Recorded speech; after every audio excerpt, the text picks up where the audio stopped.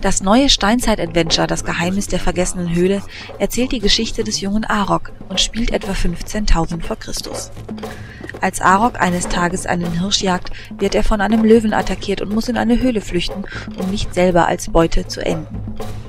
Dort schlüpft dann zum ersten Mal der Spieler selber in die Rolle des Cro-Magnon-Menschen, der nun die lauernde Raubkatze in die Flucht schlagen muss.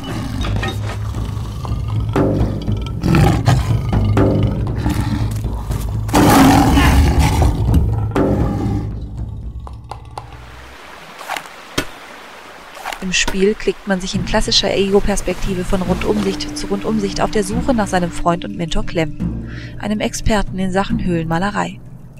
Die hochauflösenden Hintergründe sind dabei sehr detailliert gerendert und teilweise animiert.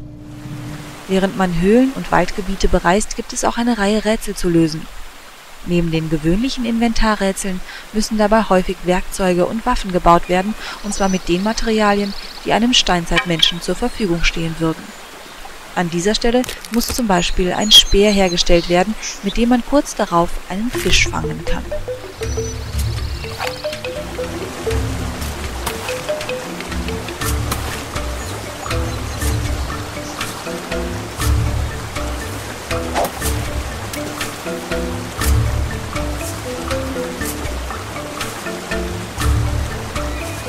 Essenszeit!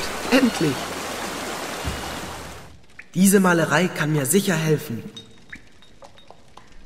Eine Besonderheit im Spiel sind die Höhlenmalereien, die auch einige Rätsel bergen. Um an dieser Stelle weiterzukommen, muss zunächst ein Bär beseitigt werden.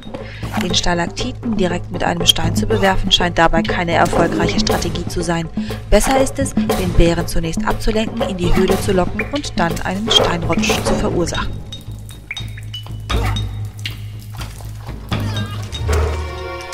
Eine weitere Besonderheit ist die eingebaute Enzyklopädie.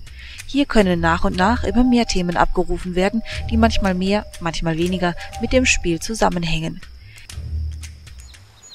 Sehr enttäuschend ist die Qualität der Sprachausgabe. Die wenigen Dialoge, die das Geheimnis der vergessenen Höhle zu bieten hat, wurden erschreckend schlecht vertont. hier viele gibt. Zu dieser Jahreszeit sind sicherlich nicht viele Menschen dort. Die meisten Clans sind bei der großen Versammlung. Sehr schön dagegen sind die Zwischensequenzen, die hervorragend gerendert sind und mit atmosphärischer Musikuntermalung sowie realistischer Geräuschkulisse auftrumpfen. Dann mal los! Wem solche Eigenschaften wichtiger sind als eine lange Spieldauer und gute Dialoge, der könnte Gefallen an dem neuen Ego-Adventure von Kiops Studio finden. Einen ausführlichen Testbericht gibt es wie immer auf adventuretreff.de.